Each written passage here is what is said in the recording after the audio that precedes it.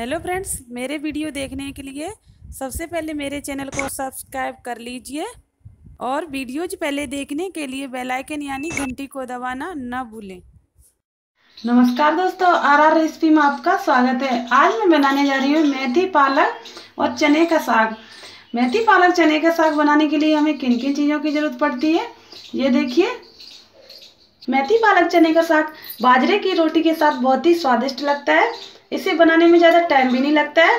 तो मेथी पालक चने का साग बनाने के लिए मैंने यहाँ पर पालक के पत्ते लिए मेथी लिए और ये चने के साग लिया है और थोड़ा यहाँ पर सोया के पत्ते ले लिए इन सब चीज़ों को मैंने अच्छे से साफ़ पानी से धो लिया है और थोड़ा छल्ली में रख के इसका पानी निकाल दिया अब इसे हम काट लेंगे, इसके बाद इसे बनाना शुरू करेंगे। साग को हमने बारीक काट लिया है, आप देख सकते हैं। अब इसे हम बनाना शुरू करेंगे। साग बनाने के लिए हमने यहाँ पर भगोने में एक लीटर पानी लिया है, जिसे हम उबालेंगे, गैस ऑन कर देंगे। गैस ऑन हो गई है, पानी को ढक देंगे। पानी में उबाल आ जाएगा, तब हम साग साग को डालेंगे। पानी में उबाल आ चुका है, अब हम चने को साग को पानी में डाल देंगे।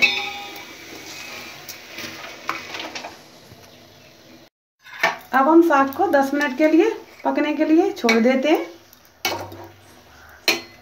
इसे पानी में मिक्स कर देंगे, चला देंगे।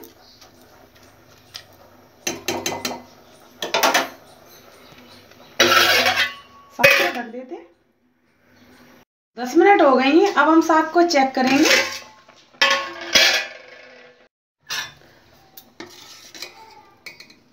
साग हमारा बन चुका है, ये देखिए। अब इसमें हम बाजरे के आटा का घोल मिलाएँगे। आप चाहे तो बेसन का भी मिला सकते हैं, लेकिन यहाँ पर मैं बाजरे का मिला रही हूँ। गोल बनाने के लिए मैंने यहाँ पर आधा कप बाजरे का आटा लिया है। अब मैं इसमें पानी डाल के गोल बनाना शुरू करूँगी।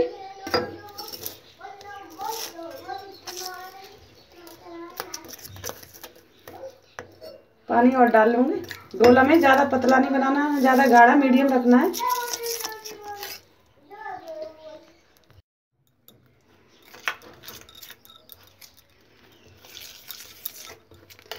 पानी और डाल देंगे इसमें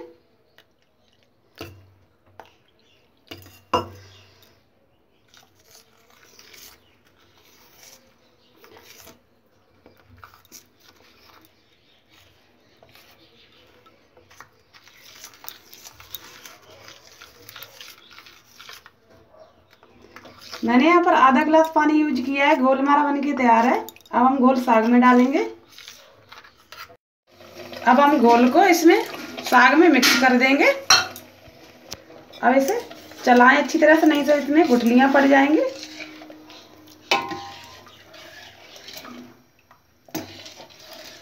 इसे हमें लगातार चलाना है।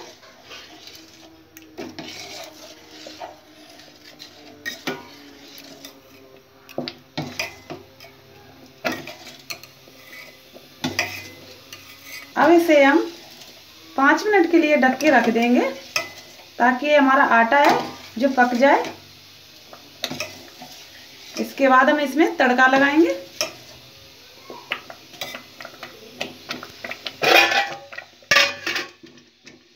पाँच मिनट हो गई हैं। अब इसमें हम हरी मिर्च डाल देंगे। हमने यहाँ पर तीन चार हरी मिर्च काटी है। साग में हम हरी मिर्च को मिक्स कर देंगे।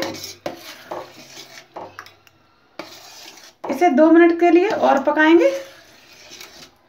हरी मिर्च हमारी इसमें पक जाएँगी। इसके बाद हम तड़का लगाना शुरू करेंगे। दो मिनट हो गई हैं, हरी मिर्च हमारी पक गई हैं। अब इसमें हम नमक डाल देंगे। हमने यहाँ पर डेढ़ चम्मच नमक लिया है। या स्वाद अनुसार आप ले सकते हैं। नमक को अच्छी तरह से हम मिक्स कर देंगे। इसको चलाते रहें। गैस बंद कर देंगे। लगाने के लिए सबसे पहले हम गैस ऑन करेंगे। गैस ऑन हो गई है। अब इसमें हम ऑयल डालेंगे। तड़का लगाने के लिए मैंने 10 से 20 कली लहसुन के लिए, जिसे मैंने कूट लिया है। एक चुटकी हींग ली है। आधा छोटी चम्मच जीरा लिया है। चार लाल मिर्च ली है सूखी। चलिए तड़का लगाना शुरू करते हैं। हमारा गर्म हो चुका है, इसमें धुआँ हो गया ये देखिए।